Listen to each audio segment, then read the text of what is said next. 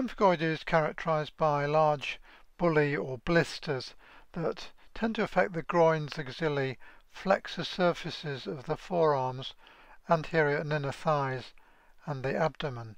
They can also affect the oral mucosa, the tongue, cheeks, and eyes, and also the esophagus. They may present with itching and irregular areas of erythema, with central areas of clearing.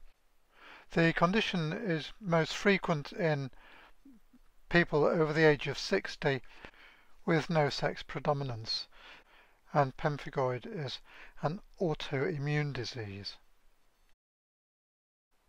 Pemphigoid is more common in patients with neurological conditions such as Parkinson's disease, stroke and dementia, and it may also occur in patients with an internal malignancy, People with psoriasis are at increased risk of bullous pemphigoid, particularly if they are treated with ultraviolet light. And alogliptin for diabetes can also cause bullous pemphigoid to develop.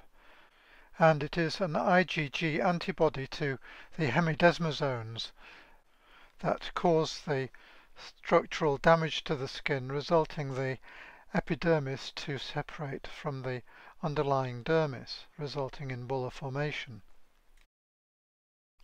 Consequently, the bulla is subepidermal and there may be associated eosinophil polymorphs and some spongiosis as well. Immunofluorescence shows a linear IgG and C3 pattern. Here is a skin biopsy of an early lesion in bullous pemphigoid. You can see that there is an accumulation of, of um, mononuclear and eosinophil polymorphs in the papillary dermis. And here is the classical histology of bullous pemphigoid. The epidermis is cleanly separated from the underlying dermis and the epidermis itself is intact with no acantholysis as you see in pemphigus.